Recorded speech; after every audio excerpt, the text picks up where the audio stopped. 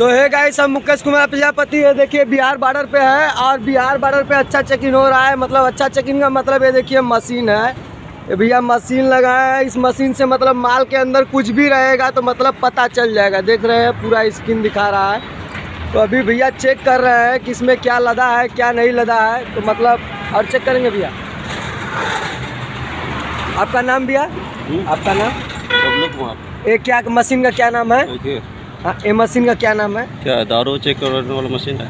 अच्छा ये भैया दारू मतलब कोई भी अनगल सामान रहे तो उसको चेकिंग के लिए मशीन बना है।